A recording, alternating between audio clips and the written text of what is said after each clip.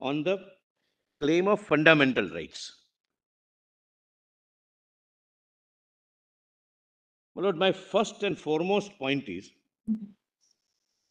right to love, right to cohabit, right to choose one's partner, right to choose one's sexual orientation may be a fun, is a fundamental right. Can you just say that again, Yes, Solicitor? lord. Just Right give me one, to- just one second. Just sorry, one second. Right to, love, right Yeah. to cohabit, right to have sexual orientation, and right of sexual instead preference. we'll, we'll rephrase it, right to, uh, right to, uh, or can we say it's right to have a sexual orientation? Should we say right to? uh, Exercise that what would right. Be the correct, uh, verb, Ravi?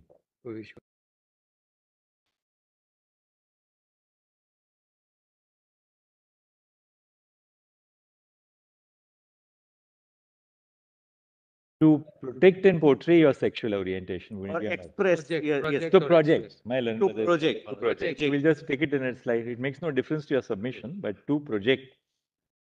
the sexual orientation In the partner, you say. and choosing a partner is a fundamental right. But there is no fundamental right to seek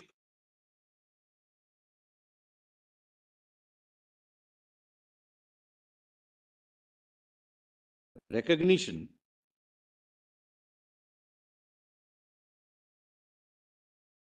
of that relationship as a marriage or in any other name.